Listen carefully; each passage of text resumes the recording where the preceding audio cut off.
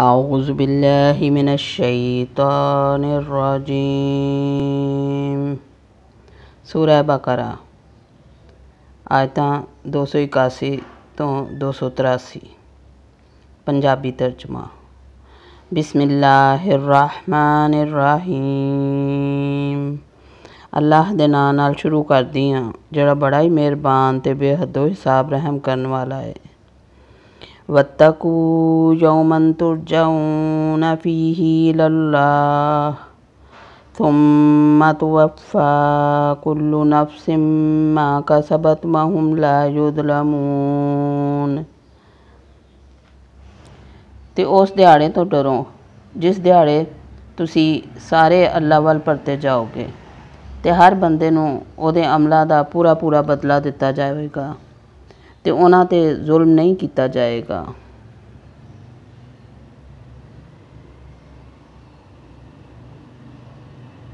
يا أيها الذين آمنوا إذا تداينتم بدين إلى بدين إلى أجل مسمى فاكتبوه وليكتب بينكم كاتب بالعدل ولا يأب كاتب أن يكتب كما علمه الله فليكتب. والجمل الذي عليه الحق وليتق الله ربه. وليتق الله ربه ولا يبخس منه شيئا. فإن كان الذي عليه حق فإن كان الذي عليه الحق سفيها أو ضعيفا أو لا يستطيع أن يمل أو لا يستطيع أن يمل هو فليملل وليه بالعدل. واستشهدوا شهيدين من رجالكم فإن لم يكونا رجلين فرجل وامرأتان ممن ترضون ممن ترضون من الشهداء أن تدل إحداهما فتذكر فتذكر إحداهما الأخرى.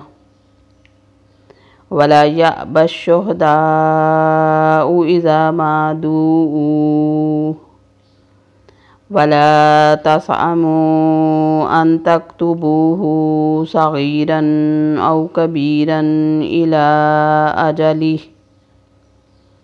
ذلكم أقسط عند الله وأقوم للشهادة وأدنى أن لا ترتابوا إلا إلا أن تكون تجارة حاضرة تديرونها بينكم فليس عليكم جناح أن لا تكتبوها.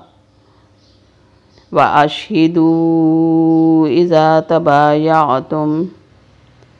ولا يدار كاتب ولا شهيد.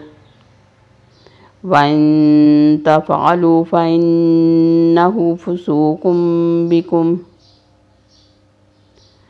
واتقوا الله ويعلمكم الله والله بكل شيء عليم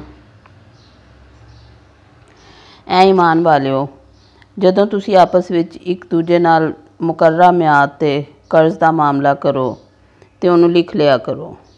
ਤੇ ਲਿਖਣ ਵਾਲੇ ਨੂੰ ਚਾਹੀਦਾ ਹੈ ਵੀ ਤੁਹਾਡਾ ਆਪਸ ਦਾ ਮਾਮਲਾ ਅਦਲ ਨਾਲ ਲਿਖੇ। ਤੇ ਕਾਤਬ ਨੂੰ ਚਾਹੀਦਾ ਹੈ ਵੀ ਲਿਖਣ ਤੋਂ ਇਨਕਾਰ ਨਾ ਕਰੇ, ਜਿਵੇਂ ਅੱਲਾ ਨੇ ਉਹਨੂੰ ਸਿਖਾਇਆ ਹੈ ਤੇ ਉਹਨੂੰ ਵੀ ਲਿਖ ਦੇਣਾ ਚਾਹੀਦਾ ਹੈ ਤੇ ਜਿਹਦੇ ਜਿਵੇਂ ਹੱਕ ਹੋਵੇ ਉਹ ਲਿਖਵਾਏ। ਤੇ ਆਪਣੇ ਅੱਲਾ ਕੋਲੋਂ ਡਰੇ ਜਿਹੜਾ ਉਹਦਾ ਰੱਬ ਹੈ ਤੇ ਹੱਕ ਵਿੱਚ ਕੋਈ ਘਾਟਾ ਨਾ ਕਰੇ। ਹਾਂ ਜਿਹੜੇ ਬੰਦੇ ਦੇ ਜਿਵੇਂ ਹੱਕ ਹੈ ਉਹ ਜੇ ਨਾਦਾਨ ਹੈ ਜਾਂ ਕਮਜ਼ੋਰ ਹੋਵੇ, ਜਾਂ ਲਿਖਵਾਉਣ ਦੀ ਤਾਕਤ ਨਾ ਰੱਖਦਾ ਹੋਵੇ, ਤੇ ਉਹਦਾ ਵਲੀ ਅਦਲ ਨਾਲ ਲਿਖਵਾ ਦੇਵੇ। ਤੇ ਆਪਣੇ ਵਿੱਚੋਂ ਦੋ ਮਰਦ ਗਵਾਹ ਬਣਾ ਲਵੋ। ਤੇ ਜੇ ਦੋ ਮਰਦ ਨਾ ਹੋਣ, ਤੇ ਇੱਕ ਮਰਦ ਤੇ ਦੋ ਜ਼ਨਾਨੀਆਂ, ਜਿਨ੍ਹਾਂ ਨੂੰ ਤੁਸੀਂ ਗਵਾਹਾਂ ਵਿੱਚੋਂ ਪਸੰਦ ਕਰ ਲਵੋ, ਤਾਂ ਜੇ ਇੱਕ ਭੁੱਲ ਜਾਵੇ ਤੇ ਦੂਜੀ ਯਾਦ ਕਰਾ ਦੇਵੇ। ਅਤੇ ਗਵਾਹਾਂ ਨੂੰ ਚਾਹੀਦਾ ਹੈ ਵੀ ਜਦੋਂ ਬੁਲਾਏ ਜਾਣ ਤਾਂ ਇਨਕਾਰ ਨਾ ਕਰਨ। ਅਤੇ ਕਰਜ਼ ਨੂੰ ਚਾਹੇ ਉਹ ਛੋਟਾ ਹੋਵੇ ਜਾਂ ਵੱਡਾ, ਲਿਖਣ ਵਿੱਚ ਸੁਸਤੀ ਨਾ ਕਰਿਓ। ਅੱਲਾ ਦੇ ਕੋਲ ਇਹ ਗੱਲ ਬੜੀ ਇਨਸਾਫ ਵਾਲੀ ਹੈ ਤੇ ਗਵਾਹੀ ਨੂੰ ਵੀ ਠੀਕ ਰੱਖਣ ਵਾਲੀ ਹੈ ਸ਼ੱਕੋ ਸ਼ੁਬਾ ਤੋਂ ਵੀ ਬਹੁਤ ਬਚਾਉਣ ਵਾਲੀ ਹੈ ਹਾਂ, ਇਹ ਹੋਰ ਗੱਲ ਹੈ ਵੀ ਮਾਮਲਾ ਨਕਦ ਲੈਣ ਦੇਣ ਦੇਣ ਦਾ ਹੋਵੇ। ਅਤੇ ਜਿਹੜਾ ਆਪਸ ਵਿੱਚ ਤੁਸੀਂ ਲੈਣ ਦੇਣ ਕਰ ਰਹੇ ਹੋ, ਤੁਹਾਡੇ ਉੱਤੇ ਉਹਦੇ ਲਿਖਣ ਵਿੱਚ, ਉਹਦੇ ਨਾ ਲਿਖਣ ਵਿੱਚ ਕੋਈ ਗੁਨਾਹ ਨਹੀਂ। ਖਰੀਦੋ ਫਰੋਖਤ ਦੇ ਵੇਲੇ ਵੀ ਗਵਾਹ ਬਣਾ ਲਿਆ ਕਰੋ ਤੇ ਯਾਦ ਰੱਖੋ ਵੀ ਨਾ ਤੇ ਲਿਖਣ ਵਾਲੇ ਨੂੰ ਕੋਈ ਨੁਕਸਾਨ ਪਹੁੰਚਾਇਆ ਜਾਵੇ ਤੇ ਨਾ ਗਵਾਹਾਂ ਨੂੰ। ਤੇ ਜੇ ਤੁਸੀਂ ਇੰਜ ਕਰੋਗੇ ਤੇ ਇਹ ਖੁੱਲੀ ਨਾਫਰਮਾਨੀ ਹੈ। ਅੱਲਾ ਤੋਂ ਡਰੋ, ਉਹ ਤੁਹਾਨੂੰ ਤਾਲੀਮ ਦੇ ਰਿਹਾ ਹੈ ਤੇ ਅੱਲਾ ਹਰ ਚੀਜ਼ ਨੂੰ ਬਹੁਤ ਜਾਣਨ ਵਾਲਾ ਹੈ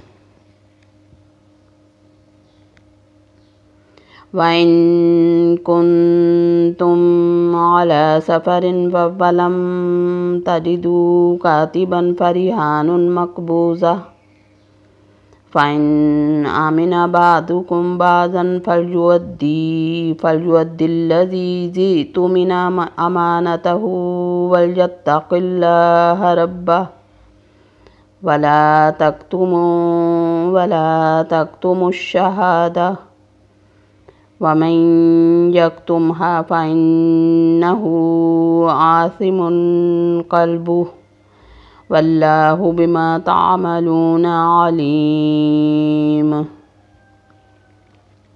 ਤੇ ਜੇ ਤੁਸੀਂ ਸਫ਼ਰ ਵਿੱਚ ਹੋ ਤੇ ਲਿਖਣ ਵਾਲਾ ਨਾ ਪਾਓ ਤੇ ਰਹਿਣ ਕਬਜ਼ਾ ਵਿੱਚ ਰੱਖ ਲਿਆ ਕਰੋ ਹਾਂ ਜੇ ਆਪਸ ਵਿੱਚ ਇੱਕ ਦੂਜੇ ਤੋਂ ਮੁਤਮਈਨ ਹੋ ਜਾਓ ਤੇ ਜਿਹਨੂੰ ਅਮਾਨਤ ਦਿੱਤੀ ਗਈ ਹੈ ਉਹ ਉਹਨੂੰ ਅਦਾ ਕਰ ਦੇਵੇ ਤੇ ਅੱਲਾ ਕੋਲੋਂ ਡਰਦਾ ਰਵੇ ਜਿਹੜਾ ਉਹਦਾ ਰੱਬ ਹੈ ਤੇ ਗਵਾਹੀ ਨੂੰ ਨਾ ਲੁਕਾਓ ਤੇ ਜਿਹੜੇ ਉਹਨੂੰ ਲੁਕਾ ਲ ਅਤੇ ਜਿਹੜਾ ਉਹਨੂੰ ਲੁਕਾ ਲਵੇ, ਤੇ ਉਹਦਾ ਦਿਲ ਗੁਨਾਹਗਾਰ ਹੈ। ਅਤੇ ਜੋ ਕੁਝ ਤੁਸੀਂ ਕਰਦੇ ਹੋ, ਉਹਨੂੰ ਅੱਲਾ ਪਾਕ ਡਾਢਾ ਜਾਣਦਾ ਹੈ। ਸਦਕ ਅੱਲਾਹੁਲ ਅਜ਼ੀਮ